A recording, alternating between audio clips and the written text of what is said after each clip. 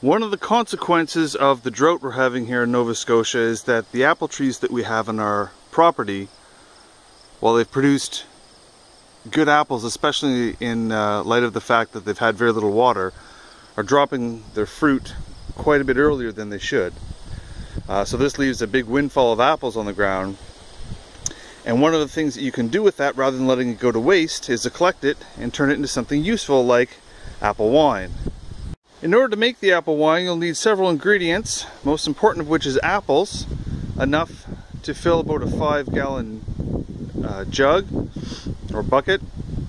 You'll need nine lemons, about a kilogram of golden raisins, eight kilograms of sugar, and yeast.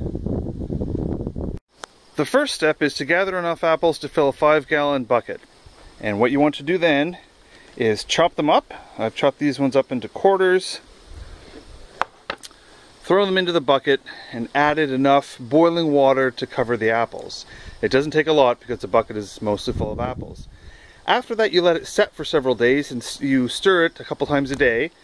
These apples have been setting for about three or four days, uh, maybe five at this point. As you can see they look pretty, pretty rotten, but right underneath them is the liquid that will form the basis for the wine. So the, the hot water and the fermentation that takes place with the apples in the bucket releases uh, the liquid from the apples and that will be the basis for the wine. And after you have uh, a good stew of fermenting apples, the first thing to do is to strain the apples out.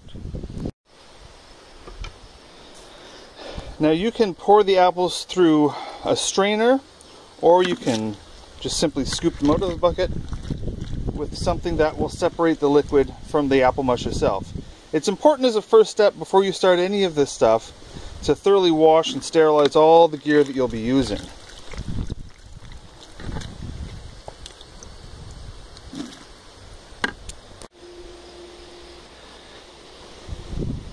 So that's what it looks like when all the apples are taken out. You're left with about a half of a five gallon bucket worth of uh, apple juice and apple water. The apples that we've strained out will just be thrown into the compost and then we can make apple wine from the leftover concentrate here. So the next step is to add the other ingredients that uh, go into the wine. Uh, primarily or initially the sugar. So we've got eight kilograms of sugar we need to add.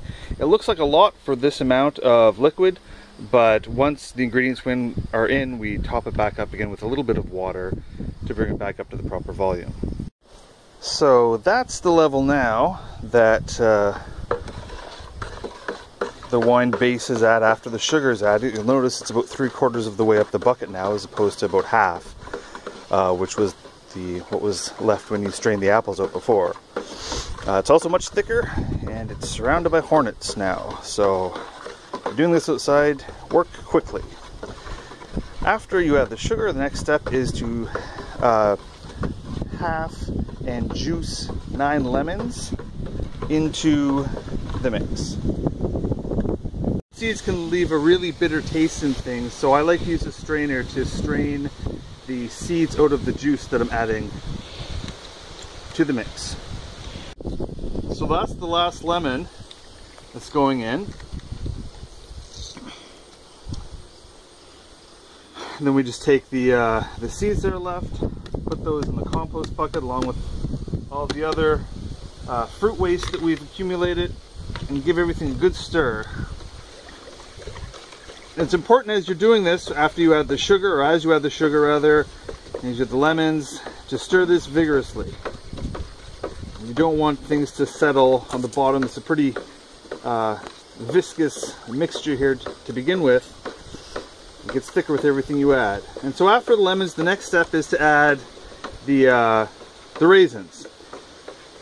And I admit this is a recipe that I stole from another website. Um, I'll put a link to it in the description below.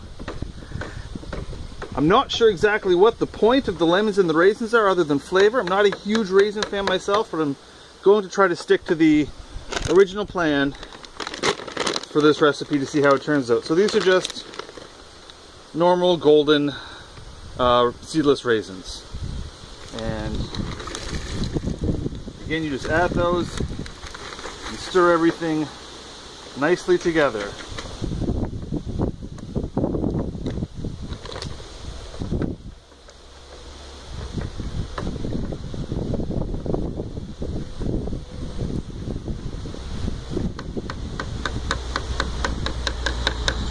And then finally, we add the yeast. Now I'm using a champagne yeast. I'm using a little bit less than what's called for for the volume uh, for this amount of liquid. And that's specifically because I, I don't want to make apple champagne. I want to make something a little bit lighter. I don't know if that actually works out in terms of the yeast, the amount of yeast correlating with how strong something is, but we're going to try it. Oh, don't do it in the wind.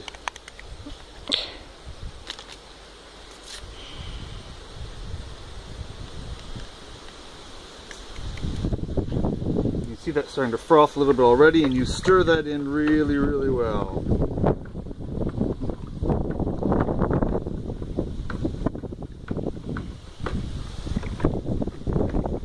It's pretty crowded in there now with the, the raisins, the apple juice, and the, the lemon juice. Pretty thick mixture.